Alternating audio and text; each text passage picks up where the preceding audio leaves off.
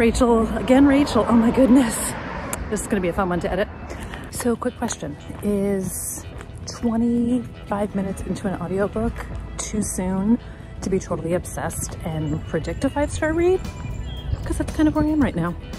But these are like little metal book darts. I already just dropped one somewhere.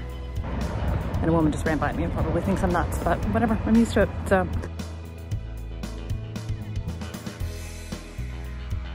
Hi everybody, it's Audrey and welcome back to Chapter and Converse.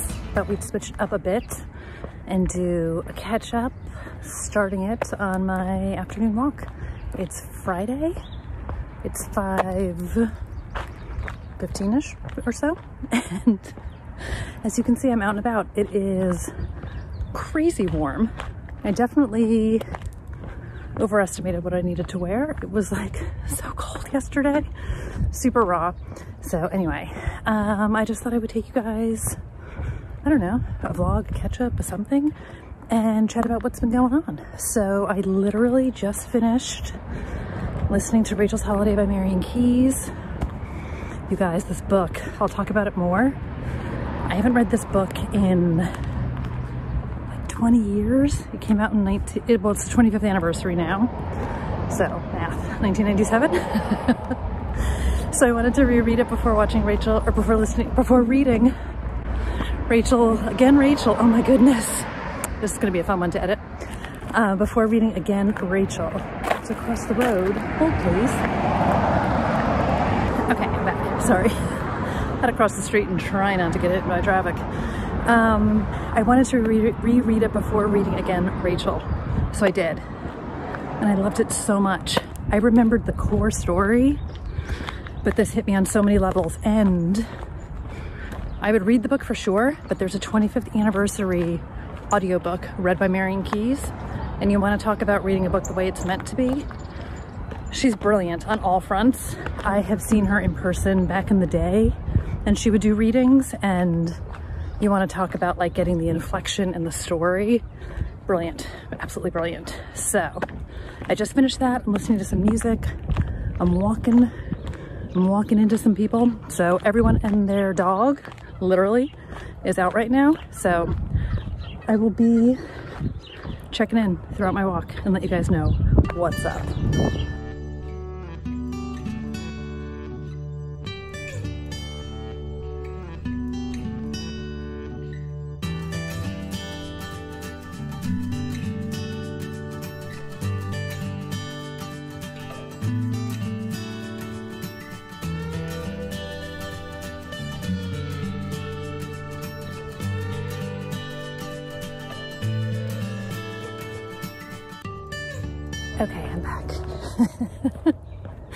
To be a challenging day because I keep crossing paths with people and whatever, whatever, I know I shouldn't care, but I have a hard time doing this when there's a bunch of people walking around, especially when there's people behind me. So anyway, I feel like I sound like I'm out of breath. And I probably am a little bit, but I'm also excited to be talking.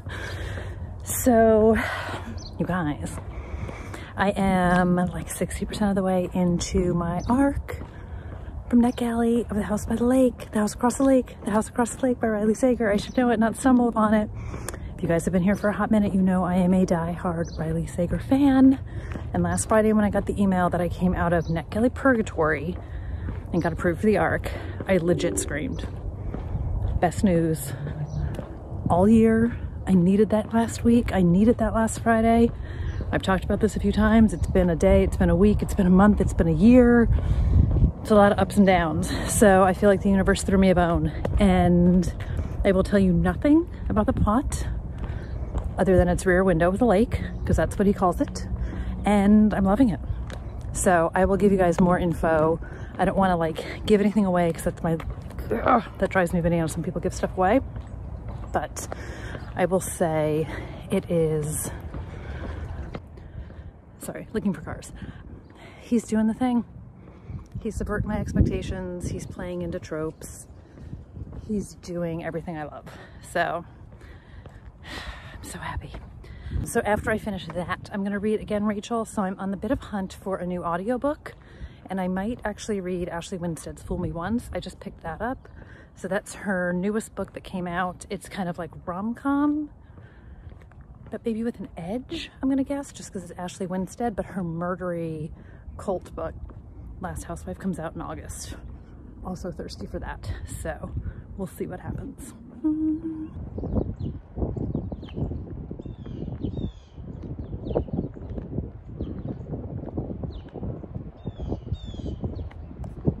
Okay, scene number three.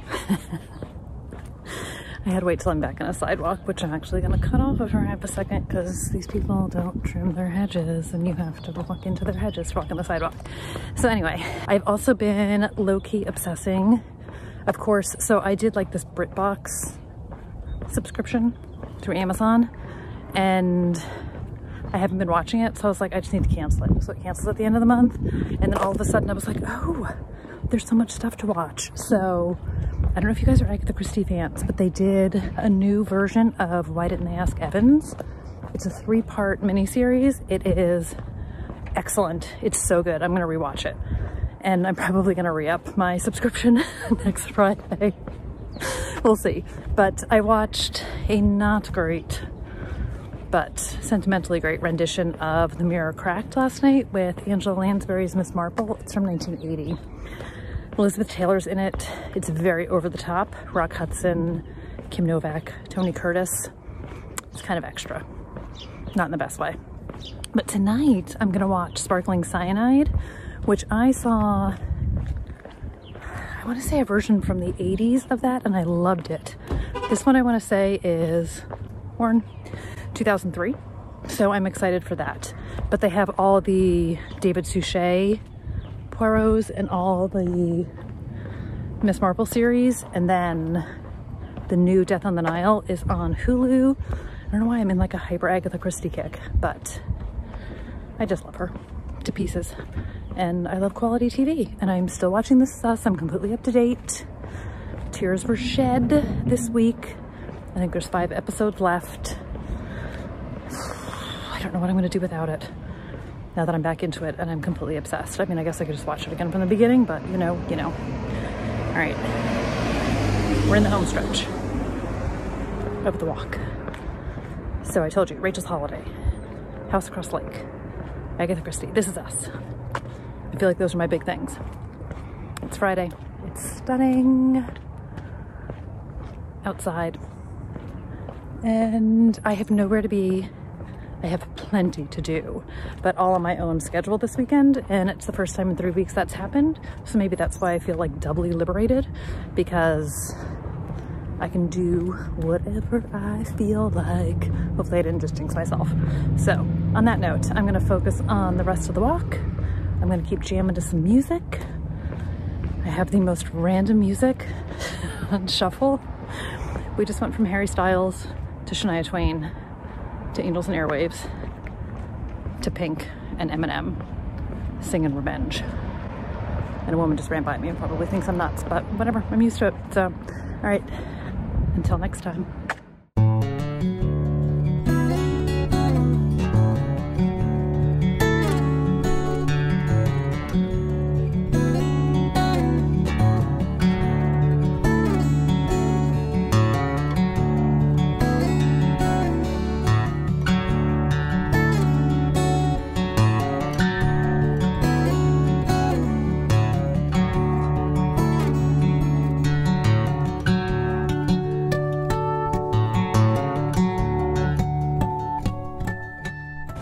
Friends. Happy Saturday. It feels like deja vu, but I swear it's Saturday morning.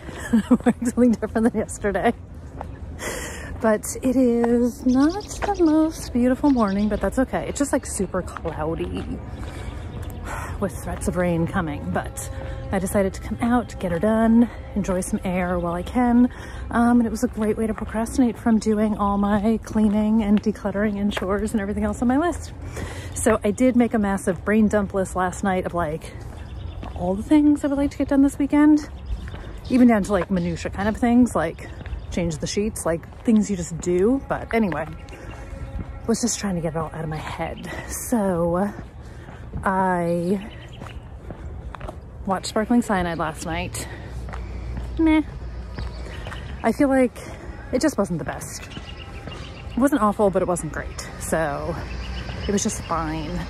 But I did. I did read a little bit more, nothing crazy, just a nice quiet night, which was basically exactly what I wanted. And then I read some more this morning, Riley Sager, the risk of stating the obvious, but once more, once more for the cheap seats in the back. I love Riley Sager. I love what he does. I love his books. I'm hoping to finish it. I don't know if I'm gonna finish it today. I'll definitely finish it before the weekend's out. And then I legit just started listening to Ashley Winstead's Fool Me Once. I have the audiobook. I think I mentioned that yesterday. So this is her new book that just came out and it's like rom-com. I'm like only on the first chapter.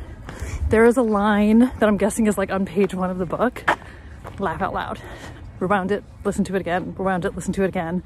Just so funny. So it's definitely gonna be kind of like, I think like wicked humor, but I'm loving it so far. And I already am like I need the physical copy. Like the audiobook, because I'm back into audiobooks is a great idea, but we'll see. I mean, I'm gonna give it a couple chapters, but already I'm planning to buy it, so.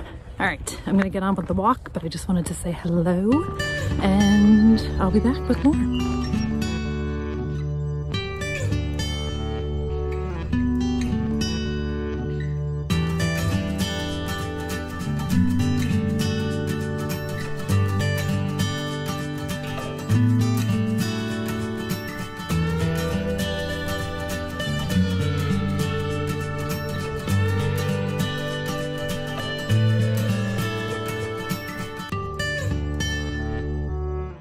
So quick question, is 25 minutes into an audiobook too soon to be totally obsessed and predict a five-star read? Because that's kind of where I am right now. Hey guys, what's going on? It is Sunday. I am clearly, or maybe not clearly, but I hopefully clearly am filming some videos today. I don't normally put this kind of effort in if I'm just hanging around the house on Sunday. But anyway, I wanted to just check back in with you guys, let you know what's going on. Yesterday, I wound up reading some more, listening to some more Fool Me Once by Ashley Winstead. I wound up doing some decluttering. It's just like everything just sort of like took off and it was, and then like there was the night kind of a thing. But anyway, I have maybe 30 pages left in The House Across the Lake by Riley Sager. I could have sat and kept reading it, but I'm like definitely trying to stay on point today and get some stuff done. I particularly needed to film and I'm in the middle of filming. So I'm saving it for when I eat lunch and I'm gonna finish it and I will reserve all comments. But I definitely said this to my friends and I don't know if I said it to you guys, but it, it's, it's up there. It's up there with Final Girls, which is a bold statement for me and a bold statement it's not gonna unseat Final Girls, I don't think. I don't think anything will ever unseat Final Girls, but it's up there. And then Fool Me Once by Ashley Winstead. So I am like 30% of the way into it. And did I get on Amazon yesterday and buy the book? Yeah, I a thousand percent was going to go to my bookstore and buy it in person yesterday, but they don't have it in stock. So but the power of Amazon, it's supposed to arrive today, which is insanity completely, but I'm here for it. And also I posted about how I was reading it and like completely obsessed with it. And Ashley Winstead wrote me back and like she was just like, uh, day made. And I wrote back and I was like, mine too.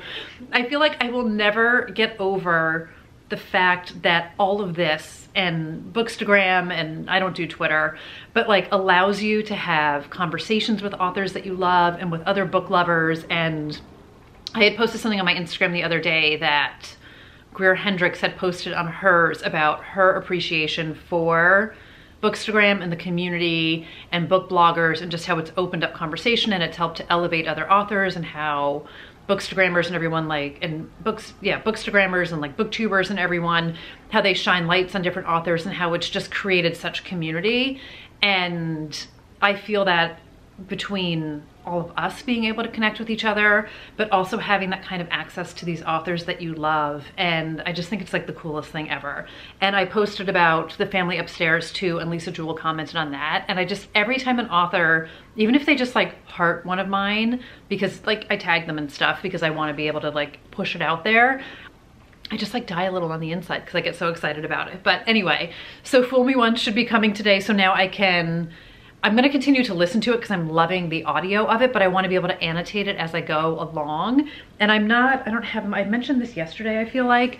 So I'm not doing all, I did buy book darts too, but I feel like I wanna save the book darts, this sounds so silly, for like a special book, but I don't know that a book is special until I'm into it.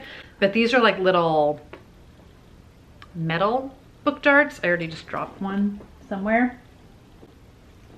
Guys, I'm such a mess today. Who's surprised? But I also wound up getting these colored tabs and I'm not annotating it because like the colors mean something. I'm actually, I'm about to film like the first half of my April wrap up. So this is 56 Days by Catherine Ryan Howard. So I'm trying to pick a tab color that matches the book. So the book is hot pink and then the tabs are hot pink. But rather than dog ear, which I'm not against, I'm not like completely not dog earing anymore. I will always be a dog ear. this was a reread for me, but I like dog eared it even more. I feel like this one will make some people really lose their mind. Let me find it so I can. I have, over time, I've read this book, this is a writing book, multiple times. So I've underlined it in multiple colors depending on when I read it and I write in it. So I'm sure that is making some people roll over and completely lose their mind. So anyway, I want to tab up Fool Me Once when it comes. So that's happening today. And then I'm gonna try and keep decluttering because I hit some good stride yesterday. I'm in that phase where in a former life and in a former job and in a former world when I would go to work. I worked at, I've worked at like multiple places in terms of wardrobe and my job before this job was much more corporate. I was in a much more corporate facing position and very out in front and it was, you know, I mean, it was like heels and suits and dress coats and like, I loved all that stuff, but like, that's just not my reality anymore. So I had a very tough look at my shoes yesterday. and I just pulled out everything and it's just, I, like, I don't know if I'll ever wear heels again. I've stopped wearing heels for a while. For one, I'm like five nine and, and a little.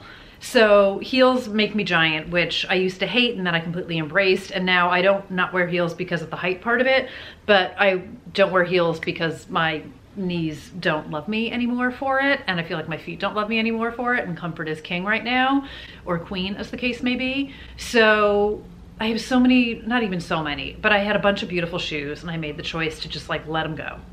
I don't wear them anymore. They're taking up valuable space in my closet. Just we're, we're letting them go. And then I have started to let go of like some of those work clothes and I just have a hard time with some of it because some of it's perfectly fine. And I'm just like, I was talking to my mom about it and I was like, it feels like you're saying goodbye to a life and like an old life and a life that was. And it's just a very weird, like mourning period for for what was and and like what my job used to be and and kind of what life used to be i don't know but i was having not like i wasn't like crying about it but I was having just sort of like an emotional reaction to everything yesterday, but I felt like I was in a good zone and I made some good choices. So I would like to kind of stay on that track. Um, I did a ton of laundry yesterday. So I've got some of that to deal with today and it's already Sunday and you're planning for the week ahead and I do need to hit the supermarket. I could get away with not going today and just going tomorrow night, but we'll see kind of how the day pans out. And then I'm like looking out the window. It's got that cloudy-ish look to it. As long as it doesn't rain, I can go for a walk, but I think I'm gonna wait till like after lunch and all that kind of stuff. So anyway, and I need to like edit this so I can have it up on Tuesday. But all that to say, I don't know how many times I've said that phrase. I just wanted to check in and let you guys know what's going on. I will give you some final thoughts on Riley Sager after I finish it, but I just wanted to say, in my world, good morning, and I will see you guys with an update later. Hey guys, so we're gonna end this vlog right where we started it, outside taking a walk. It's, I think like 4.30 or something, and I had a productive filming day. It takes up so much time, so I didn't quite get all the other stuff I wanted to get done, done at this stage of the game, but I finished The House Across the Lake by Riley Sager. I'm sitting with my feelings. I try not to make knee jerk reviews anymore, but it does not unseat Final Girls, but it still feels five stars to me. So Final Girls to me is like five star plus. Home Before Dark is five stars. So it's like they're touching. And I feel like House Across the Lake is also five stars and it touches, it makes no sense. It touches Home Before Dark on a horizontal level and then they're both just like right underneath Final Girls, if that makes any sense. So we'll see. I mean, I will um, sit and process, but I really enjoyed it. I really enjoyed it. And I hesitate to say a thing because I don't want to say a thing, but I love how he plays with the tropes and I love how he plays with his readers. And that's it. That's all I'm gonna say. I don't wanna say another thing. So, all that to say, which is a phrase, honestly, I really need to get rid of because I've noticed I say it more and more and I don't know why, but it was great. I highly recommend it. There you have it. So I'm gonna keep on walking, still debating the supermarket, see how I feel. And yeah, we'll see where the rest of the night takes me. So, thank you guys for hanging out for a couple of days. Not the most exciting weekend in the life, but again, thought I would just check in, catch up, all that stuff. I'm also listening to Fool Me Once by Ashley Winstead, still loving it. And my Amazon package has been delivered. So I got that notification, so it'll be there when I get home. But I'm gonna go because people are coming at me from both angles and it starts to look weird. So, okay. Okay, so on that note, you guys, I am gonna go. Thanks for hanging out. I hope everyone is doing well and appreciate, as always, you guys spending time with me and I'll see you in the next one. Bye, everybody.